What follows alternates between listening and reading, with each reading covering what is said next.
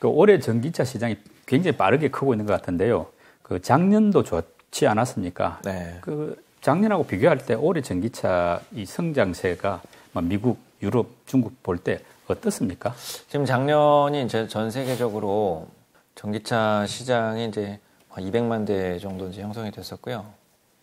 그 다음에는 어, 올해는 한 이제 388만 대 정도 저희 예측을 하고 있습니다. 아, 90%에 가까이 그렇죠. 이상 네, 늘었네요. 네. 그래서 어 이제 수치로 봤을 때는 이제 당연히 이제 중국에서의 이제 기여도가 가장 네. 클 것으로 이제 예상을 하고 있고요. 중국이 이제 작년에 90만 대 정도 했었거든요. 예. 그래서 이 수치는 올해 들어서는 아마 200만 대 이상으로 이제 발전될 것으로 예상을 하고 있고요. 예. 작년이 사실 중국이 좀 더 많이 나올 수 있었는데 어 작년 상반기가 이제 중국 시장이 완전히 셧다운 됐- 되다 보니까 어 좀 이제 재작년에 한 80만 대 정도 했었거든요. 예.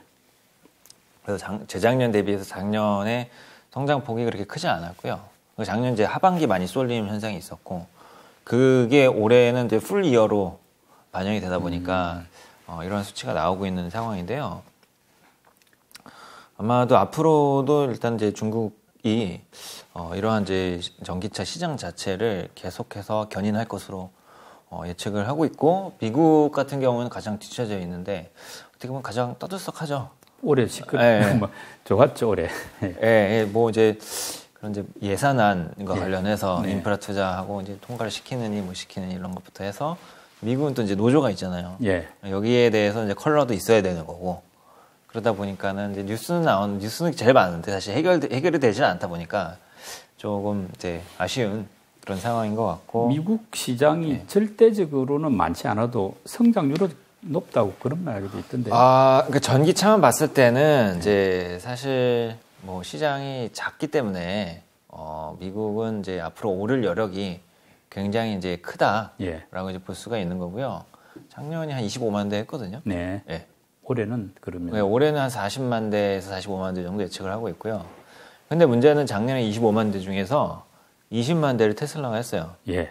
그러니까는 대부분 이제 테슬라인 거죠. 테슬라이고 네. 예, 올해도 올해는 그것보다는 조금 나은 상황인데 사실 여기에서 만약에 이제 테슬라가 신공장을 가동을 하고 그러면서 내수 물량을 얼마든지 더 늘릴 수가 있거든요. 굉장히 위협적인 거죠. 예. 유럽은 어떤가요?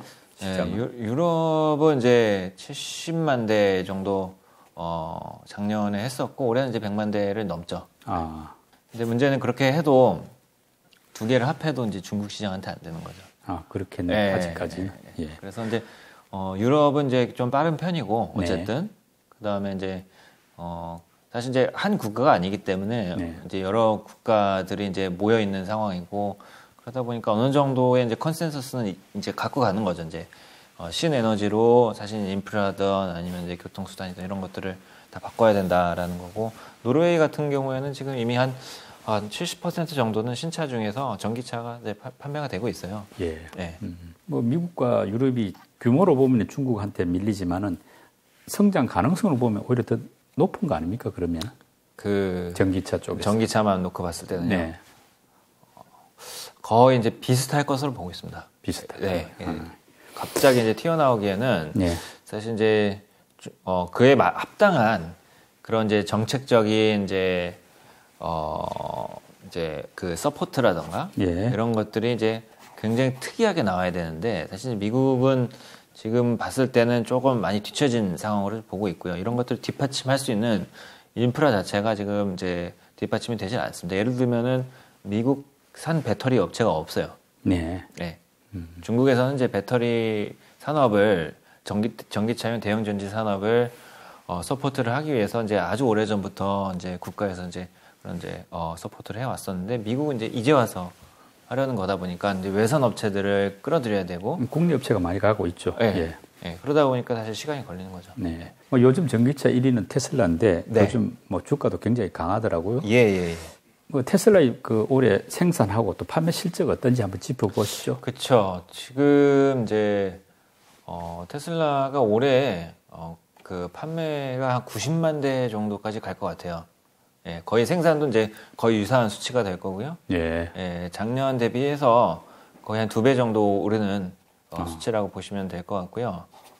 어닝은 지금 이제 테슬라에 대해서 가장 부정적인 이제 원래 시각은 그런 거죠. 이제 그 어, 다른 메이커들이 테슬라로부터 이 이산화탄소 배출 관련 크레딧을 구매를 해요. 네. 예.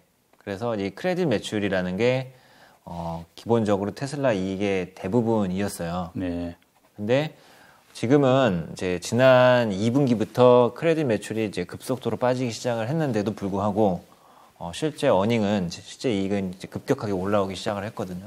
아. 예. 그래서 지금은 어, 이번 3분기에는 이제 2 빌리언 달러를 기록을 했기 때문에 예. 한화 기준으로는 2.4조 원 정도 되겠죠. 네. 예. 그리고 영업이익률이 14.6%가 나왔고 따라서 어, 지금 모든 자동차 회사들보다 영업이익률이 높습니다. 아. 네.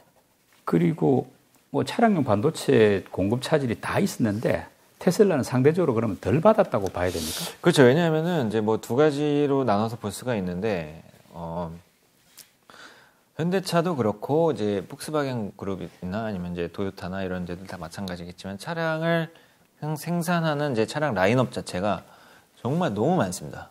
내연기관차 말씀이죠. 예, 예, 예. 현대차만 해도 이제 40가지가 넘고 폭스바겐 같은 데는 이제 60, 70가지 이상 차종들을 생산을 하고 있거든요. 네. 차종마다 다 달라요 스펙이. 아. 예. 그러다 보니까는 이제 이것들을 전부 다 공용화하는 게 한계가 있어요. 예. 그러다 보니까는 이제 근데 여기 들어가는 제품마다 다 반도체가 다른 형태로 들어가거든요. 예. 예.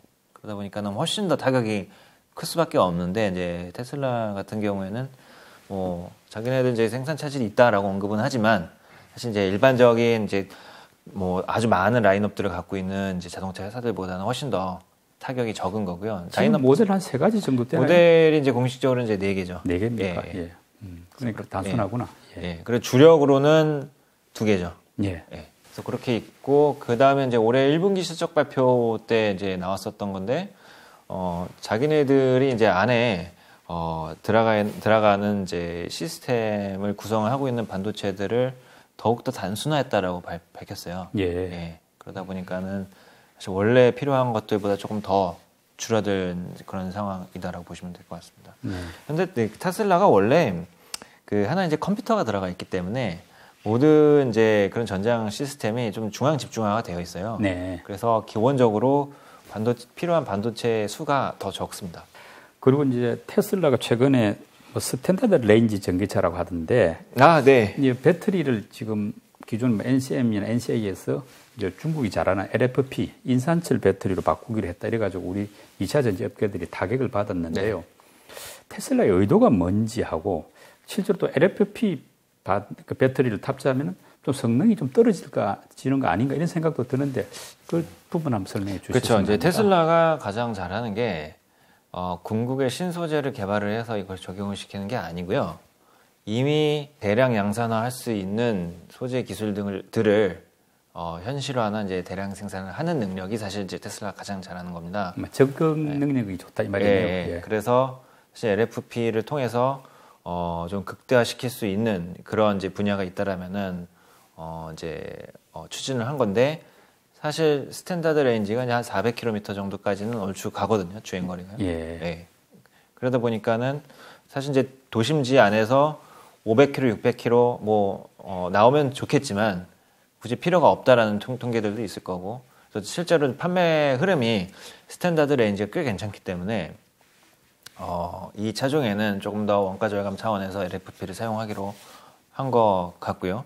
그러다 보니까는 이제 국내 업체들보다는 이제 어, 중국 업체들 거를 이제 사용을 하게 된 것 같습니다. 그러다 보니까는 이제 국내 어, 셀 메이커 안에 포함되어 있는 말씀하신 이제 양극재 소재가 아니더라도 네. 어, 이 value chain에 있으면은 이제 같이 타격을 받을 수밖에 없는 그런 구조인 거죠. 그 standard range라는 게 주로 중국 시장에서 많이 팔리는 차종입니까? 아니면 미국에서도 이런 차종이 팔릴 수 있습니까? 지금 테슬라가 미국보다 중국에서 훨씬 더 차량을 판매를 많이 합니다. 그렇죠. 예. 그럼 결국 이거는 중국에서 많이 파니까 중국 배터리 많이 사주겠다 그런 의도로 그뿐만이? 아니고, 예, 예. 말씀하신 게 정확한데요. 그뿐만이 아니고 어, 앞으로 이제 미국 판매 또는 글로벌 판매에도 LFP를 적용을 하겠다라고 언급을 했습니다. 예. 그렇다고 해가지고 지금 삼원계 배터리를 뭐 안 쓴다, 뭐 포기한다 이런 뜻은 아니죠. 그런 건 아니죠. 예. 예. 그럼 우리 국내 배터리 업계의 영향은 어느 정도입니까? 여기서 점검을 해야 되는 게 그 삼원계 배터리를 이제 사용을 한 전기차가 그럼 나오면 잘 팔릴 거냐? 네. 라는 거에 대한 이제 분석이 좀 필요한 건데요. 사실 그에 대한 경쟁력들은 이제 최근에 뭐 스텔란티스 발주 나왔고 그다음에 그 전엔 뭐 포드 대량 발주 나왔었고 그다음에 GM 이렇게 발주 나왔는데 이, 과연 이들이 내놓은 차량들이 테슬라에 필적할 수 있는 그런 상품성을 가진 거냐라가 사실 그, 어, 근본적으로 가장 중요한 포인트다라고 생각이 되는데요. 그 부분에 대해서는 사실 어, 어, 좀 굉장히 조심스럽게 예. 어, 접근을 해야 된다라고 보고 있습니다. 왜냐하면 테슬라도 사실 어, 4년 전까지만 해도 생산 차질이 굉장히 심했어요. 그리고 어, 올해도 이제 포드 자동차가 이제 마하 E라고 해서 어, 전기차를 내놨는데 여기도 출시를 하자마자 생산 guidance를 내렸거든요. 그래서 네. 그만큼 이게 하지 않던 분야, 분야다 보니까 자동차 업체가 어, 지금 원래 계획했던 것만큼 생산량이 초반에 그렇게 나오질 않습니다. 그래서 그런 가운데 이미 이제 규모의 경제를 달성하고 공장을 짓는 데도 생산량이 올라오고 있는 즉 어, 연간 올해 90만 대를 하는데 내년 160만 대, 내후년에는 200만 대 이상 하는 것으로 어, 꽤 예- 정확한 예측이 가능한 테슬라는 상당 부분 LFP를 이제 늘려나가겠다라고 하면 어, 그럼 이제 3원계만 하는 이제 그런 셀 메이커는 어, 사실 어, valuation이 굉장히 대부분 높기 때문에 예, 좀 타격을 받을 수밖에 없죠. 예. 그 말씀대로, 말씀대로 올해 중국 전기차 판매 실적이 좋지 않습니까? 네. 뭐한 200만 대 정도 보신다고 했는데 그러다 보니까 중국 전기차 ETF 투자한 사람들 같은 경우 수익률이 좋다고 하더라고요. 네. 그 지금도 들어가도 될 상황인지 좀 너무 많이 올라서 좀 기다려야 될지 어떻게 보십니까? 아, 그렇죠. 어, 이제 중국 시장이 이제 뭐 100만 대, 200만 대 정도밖에 되질 않기 때문에 앞으로 발전될 가능성이 이제 굉장히 좀 많이 남아 있다라고 네. 보고 있고 특히 이들 업체들의 특징은 아마도 이제 글로벌 리더가 될 가능성이 굉장히 크기 때문에 중국 시장뿐만이 아니고 다- 아까도 좀 말씀드렸는데 이제 다른 지역으로 침투를 하기 시작을 했죠, 사실. 네. 예. 유럽으로 가고. 예, 예. 그래서 아마 제 생각에는 장기적으로는 이제 이런 그, 그 테마틱 이제 투자는 사실 일반적으로는 어 추천을 드리기는 좀 이제 제- 제가 그런 포지션은 아니지만 사실 이제 중국 전기차 산업 자체는 앞으로 어 장기간 동안 좀 성장 고성장률을 유지할 것으로 보고 있습니다. 예. 뭐 그게 답으로 네, 듣겠습니다. 네. 뭐 현대 기아차도 주가가 좀 올라가려면은 전기차 판매에서 좀 큰 변화가 있어야 된다 이런 이야기들이 있던데요. 네. 지금 아이오닉 5, 뭐 EV6 그리고 네. 제네시스 전기차 막 나오지 않았습니까? 네. 지금 생산하고 또 이 글로벌 판매 상황 어떻습니까 보시기에? 어, 일단은 생산은 일단 현대기아는 뭐 전기차는 한국에서만 하고 있고요 아직까지는요. 네. 그래서 어, 아이오닉 5는 어, 원래는 이제 월 이제 6천에서 7천 대 정도 하는 것으로 어, 보통 이제 생산 계획이 잡혀 있는데요. 지금 이제 한 8천 대 정도 로 아. 이제 꾸준히 갈 것으로 보고 있습니다. 즉 이제 연간 10만 대 정도이고 그다음에 이제 아이 그 EV6도 이제 연간 10만 대 예. 수준으로 일단은 이제 어, 가게 될 것 같은데요. 어, 지금 이제 아이오닉 5는 올해 3월에 국내가 출시가 국내에 출시가 됐, 고 6월 달부터 이제 유럽 수출이 시작이 됐고 EV6도 이제 유럽 수출이 시작이 된다라고 예. 보시면 될 것 같고 그 다음에 보통 이제 현대기아차가 어, 이 친환경 차는 국내 판매 먼저 하고 그 다음에 유럽 그 다음에 이제 미국 그 다음에 이제 중국 이렇게 하거든요. 예. 예, 그래서 아마도 이제 아이오닉 5는 이제 미국에서의 그런 판매 호응이 이제 나오기 시작하는 그런 단계다라고 보시면 될 것 같고, 그다음에 EV6는 어, 올해 연말이나 아니면 내년 초에 이제 미국에 들어가서 어, 그쪽에서 판매 전개를 할 것으로 보고 있고요. 그다음에 이제 제네시스 전기차는 뭐 사실 여기가 가장 중요하죠. 그렇죠. 네, 럭셔리 전기 전기차니까. 근데 어, 아쉽게도 보조금 대상이 아닌 경우들이 대부분이에요. 아. 비싸잖아요. 예. 그래서 어, 좀 이제 메이 그 현대차 입장에서는 어, 일단은 다른 전기차가 있는데 어, 제네시스 전기차만 증산을 엄청나게 할 하기에는 좀 부담스러운 거죠. 네.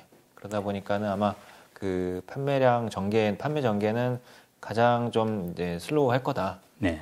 이제 생각이 되고 있습니다. 근데 미국의 전기차 시장이 이제 그래도 늦었다 보니까 뭐 네. 중국은 물론이고 유럽보다도 좀 저조하지 않습니까? 그 네. 말은 역으로 앞으로 발전 가능성이 높다는 이야기인데 지금 현대차는 기아차도 마찬가지고 미국에 지금 전기차 시설은 없지 않습니까? 생산 네, 시설. 맞습니다. 네. 그 부분을 어떻게 앞으로 좀 만들어 나갈 그런 계획이나 있는가요? 그렇죠. 왜냐하면은 이미 어, 테슬라가 아닌 어, 다른 경쟁 업체들, 즉 이제 미국 업체가 아닌 이제 폭스바겐이나 볼보나 이런 이제 정말로 해외 경쟁 업체들도 이미 이제 배터리 이제 supply chain을 포함한 어, 전기차 현지 생산을 계획을 하고 있거나 이미 거의 접근 근접해 있거든요. 그러다 보니까 현대기아차 입장에서도 조만간에는 이제 의사결정을 굉장히 뚜렷하게 어, 밝힐 가능성이 좀 높다라고 네. 보고 있고요. 이제 생각에는 뭐 시간의 문제인 것 같고요. 뭐 거의 이제 기정사실이다라고 보고는 있습니다. 뭐 올해 안에라도 계획이 나올까요? 보통 이제 현대차 기아가 이제 어 지금 한 세 번 정도 했는데 연말에 연말 연초에 이제 CEO 인베스터 데이를 하거든요. 네. 그래서 그런 자리를 통해서 전기차 판매 계획이나 로드맵들을 조금 이제 어, 소통을 하는 편이고요. 지금 올해 연말에 하는 거에서는 판매 전망을 좀 올려야 됩니다. 음. 그러다 보니까 어, 생산이나 이제 거, 그런 거점에 대해서도 분명히 좀 설명이 있지 않을까 예. 그렇게 생각을 하고 있습니다. 음. 그리고 지금 현대차는 전기차 말 고도 수소차 개발에도 굉장히 힘을 쏟고 있지 않습니까? 네. 특히 뭐 넥소 같은 경우는 뭐 글로벌 1인데 네. 뭐 어떠십니까? 지금 주가에는 수소차 부분에 전혀 반영이 안 되고 있는데 네. 앞으로 이 부분도 좀 성과가 있으면은 또 현대차 주가에 도움이 좀 되지 않겠습니까? 근데 이제 카메이커는 자동차 업체는 차를 팔아야지 실적이 남고 네. 차를 팔아야지 이제 주가가 간다라고 이제 보는 게 맞는데요. 어, 지금 이제 수소차는 이제 올해도 한 만 대를 조금 넘어서는 수준이 될 것 같고 2025년이 돼도 10만 대 정도로 계획이 되어 있습니다. 생산 기준으로 판매도 그 정도 되겠죠. 그러니까는 어, 그래 봤자 이제 10만 대이기 때문에 10만 대로는 사실 이익을 낸다라고 보장을 할 수가 없습니다. 예. 그래서 이때쯤이면은 현대기아차 그룹은 이미 이제 전기차는 연간으로 한 120만 대에서 140만 대 사이는 이제 기본적으로 이제 해야 정상인 업체이고 따라서 주가 주가를 봤을 때는 이제 전기차가 훨씬 더 이제 그 주가의 형성 요인으로 음. 어, 뚜렷한 형성 요인으로 볼 수가 있습니다. 그러면 수소차 부분이 좀 현대차 그룹에서 의미 있는 수준으로 올라오기까지 앞으로 몇 년이라도 남았다고 그거는 이제 보십니까? 예, 이제 기본적으로 2000 뭐 한 26년 7년 정도는 되어야 네. 예, 되지 않을까. 5, 6년 더 지나야 예, 되겠다라고 이제 예. 보고 있습니다. 지금 그러니까 어, 넥소 차량 하나 이제 라인업이 있는데 이것만 가지고는 이제 또는 이제 현재 어, 차량이 사실 하나여도 돼요. 아니, 트럭도 네. 있지 않습니까? 액션 턴가 하는 거 뭐. 아, 예, 그건 이제 그 상용차고. 상용차고, 예. 예 기본적으로 어, 이 승용차에서 이제 주가가 판, 그 결정이 나게 되는 건데, 네. 어, 이 차량 하나여도 돼요. 사실 이제 테슬라도 차량이 이제 뭐 라인업이 모델이 몇 개 안 되잖아요. 예. 모델 3만 있었을 때도 이미 이제 주가 밸류엣이 30조, 40조였으니까. 근데 이 차량이 정말로 소비자한테 어필을 할 수 있는 것인가? 팔려고 만든 차인가? 실험용으로 만든 차인가? 이게 예. 차이인 거죠. 아. 네. 지금 우리 수석 연구원이 보기에는 크게 뭐 임팩트가 있지는 않은 아, 것 같다. 예, 수소는 지금 제가 이제 객관적으로 말씀드렸을 때는 한 향후 3년이나 4년 동안에는 사실 이제 현대차 주가 상승에 기여를 하기에는 좀 어려울 것으로 보고 있습니다. 네, 알겠습니다. 미래 자동차는 이제 모빌리티 산업으로 이제 전환 발전해 나갈 것이다 이런 이야기들이 나오는데요. 이 모빌리티 개념이 좀 복잡한데 자동차하고 좀 비교해서 설명해 주셨으면 합니다. 아 기존에 이제 자동차 비즈니스 모델이라는 게 이제 차를 파는 거거든요. 예. 그러니까 정말 차가 이제 물리적으로 생산 판매가 되어야만 수익을 창출했는데 이제는 이제 차 그렇게 아닌데도 이 차와 관련된 비즈니스들이 막 우죽순으로 생겨나고 있는 거예요. 그 중에서 가장 임팩트가 있다라는 게 이제 그 어떻게 보면 자율주행과 네. 같은 이제 하나의 서비스가 될 거고요. 그 다음에는 이제 자율주행이 자율주행은 이제 영어로 로보택시라고 하잖아요. 예. 로보택시인데 드라이버가 있고 없고의 차이인데 예. 드라이버가 있는 상, 형태면 이제 우버나 리프트 같은 이제 ride sharing이 되는 거죠. 아. 그래서 ride sharing이 지금 굉장히 중요한 그런 모빌리티 산업의 위치에 있다라고 보, 면 될 것 같고요. 어, 이 ride sharing은 내가 있는 데까지 오잖아요. 제가 핸드폰을 호출을 했기 때문에. 그런데 어, 차가 오지 않고 내가 차까지 이 차가 있는 곳까지 가는 거. 예. 그거 보고 이제 그건 이제 car sharing이라고 하는 거고요. 음. 그다음에 이제 렌트카가 있고 뭐 이런 것까지는 다 이제 mobility라고 볼 수가 있고 지금 어, 여기에다가 추가적으로 어, UAM까지 나타났어요. 예. 왜냐하면은 이제 도시형 뭐 예, 예, 항공 도시형 항공 mobility인데 mobility, 수직 예. 이착륙이 이제 가능해졌기 때문에 가능한 이제 컨셉의 어, 비즈니스가 될 것으로 보고 있고 UAM 산업조차 사실 비행기를 파는 게 아니에요. 그거 다 어디다가 만든 만들어 갖고 파냐라고도 이제 질문을 하실 수가 있는데 이건 서비스업입니다. 예. 예. 그래서 이렇게 어떻게 보면은 이제 모빌리티 산업의 핵심은 이 어떻게 하면 이 서비스 매출을 끌어올릴 수 있을 것인가가 예. 될 거고 여기에서는 당연히 소프트웨어가 중심이 될 거고요. 네. 어, 이 어려운 이제 기계 장치 안에다가 어, 소프트웨어가 이제 별탈 없이 작동할 수 있게 되려면은 사실 이제 정말로 자체적으로 제작한 이제 운영 체제가 필요하죠. 예. 예. 그래서 음. 이런 것들이 이제 모빌리티 산업으로 가면서 굉장히 좀 주목받고 어, 중요한 그런 포인트로 이제 부각이 될 것 같습니다. 그 말씀대로 모빌리티 시대가 되면 이제 소프트웨어에 기반한 매출도 중요해진다 이렇게 하시는데 네. 그렇게 되면은 뭐 자동차 산업이나 자동차 기업이 이제 우리가 아는 기존의 시대하고는 완전히 달라진다 이렇게 봐야 됩니까? 그렇죠. 예, 왜냐하면은 이제 내가 이 차를 어, 이 차의 외관이 좋아서 이 차를 사는 게 아니고요. 이 차에서만 경험할 수 있는 user experience가 나는 원하기 때문에 사는 예. 거거든요. 예를 들면 이제 어, 갤럭시를 안 사고 애플 아이폰을 사는 것과 마찬가지인 거죠. 아. 예, 예를 들면 그렇, 뭐 그렇다라는 거고요.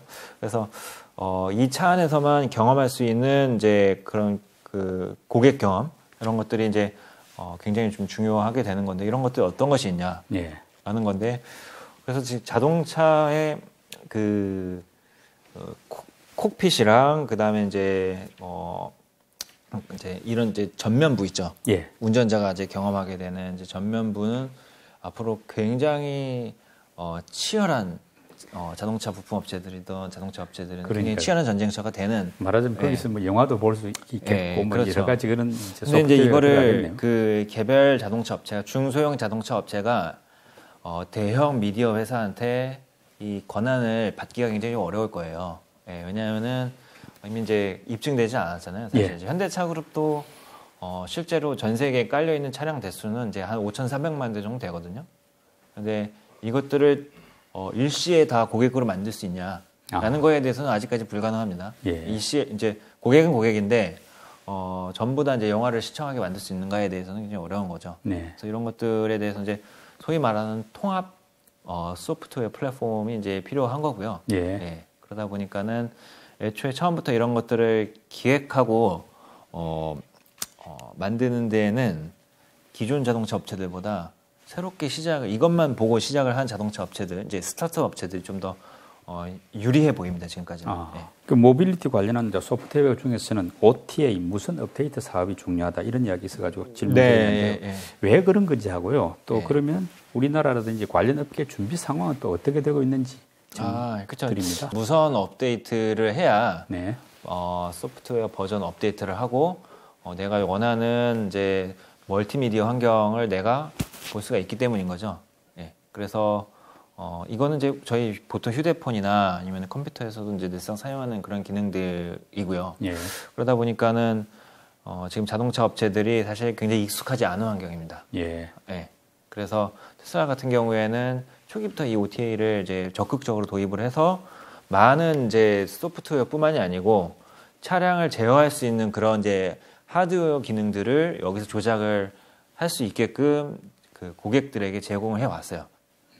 굉장히 어려운 일이고 다른 이제 그 자동차 업체들도 사실 어 이것들 이러한 이제 그런 이제 플랫폼들을 가져가기 위해서 많은 투자를 하고 있는 것이 이제 현실인데 어, 익숙치 않죠. 그래서 좀 시간이 걸리는 거고 그래서 중간 중간에 어, 대형 이제 어, 부품 업체들이나 네. 어, 그래서 이, 원래 이런 것들은 이제 인포테인먼트 안에 들어가는 개념이거든요. 아. 네.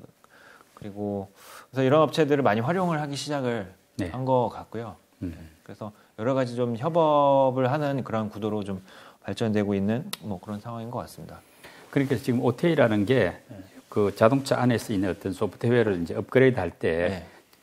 멀리 떨어진 본사에서 어떻게 소프트웨어를 전송해 줘가지고 네. 그걸로 이렇게 이제 업그레이드 하는 뭐 이런 예. 방식이 된다는 뜻이죠. 네, 예, 예, 예. 그렇게 되면은 또 약간 또 다른 측면에서 예. 내 자동차를 누군가가 이렇게 컨트롤할 수 있다는 이런 약간의 그 어두운 느낌도 드는데 그럴 가능성 위험은 없습니까? 네, 그래서 보안에 대해서 사실 굉장히 어, 자동차 업체들이 보수적이었는데요. 작년부터 이제 어, 이러한 것 이제 왜냐하면 테슬라가 너무 이제 세- FSD면 이제 너무 이제 공격적으로 나오다 보니까 아마도 이제 우리나라 같은 경우에서도 이제 현대차가 작년 어, 하반기부터 이런 것들을 보- 어, 적용할 수 있게 예. 어, 사실 규제가 좀 변경이 됐고요. 그래서 이런 것들이 다른 국가들에서도 하나둘씩 규제가 어, 풀리고 있기 때문에 여기에 대해서 이제 어, 보안에 대한 이제 설계가 따로 들어가야 되는 거고요. 네. 그리고 해킹 같은 이런 게 있을 수도 있겠네요. 이런. 것들 그럴 그럴 그럴 예 그것들은 이제 바- 그 적극적으로 어, 처음부터 차단을 하려면은 예. 이 운영 체제를 사실 남의 걸 쓰면 안 돼요. 네. 예. 그래서 테슬라 같은 경우에는 이제 자체 운영 체제를 만들었고요. 예. 예. 그리고 현대차도 사실 이제 자체 운영 체제를 만들려고 그 위에다가 이제 어 다른 소프트웨어를 얻는 건데 운영 체제 자체가 이제 남의 거가 돼버리면은 예. 말씀하신 그런 이제 이슈에 노출될 가능성이 굉장히 크죠. 아, 모빌리티 산업에 어떤 가치까지 부여된다고 보면은 그 자동차 뭐 우리나라에서는 현대 계열인데요. 현대차 계열 그 자동차의 그 주가에 어느 정도 우리 지금 그 뭐랄까 좀 점수를 더 높여줄 수 있습니까? 그래서 이제 그 뭐 손쉽게 얘기를 해보면 네. 제가 이제 최근에 쓴 이제 리포트에서 제가 추정을 해본 수치는 2040년 정도면은 어, 미국의 그 로보택시 시장이 한 1,400조 원 정도 예. 까지는 뭐 형성되지 않을까라고 어, 추정을 해봤고요. 미국에서 연간 신차 시장에 한 천조 정도 되거든요. 예. 예. 그렇기 때문에 조금 더 시장이 더 크죠.